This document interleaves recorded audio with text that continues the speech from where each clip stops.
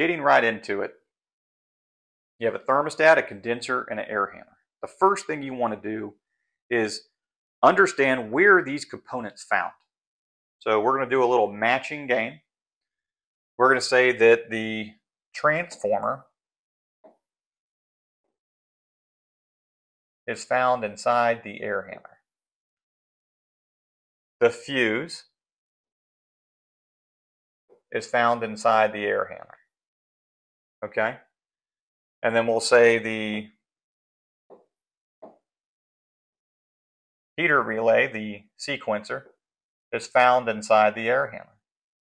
Then we'll say the um, blower relay is found inside the air handler. So if you look at this, um, now you're not going to run a blower relay with a module, but if I wanted to take that last step out,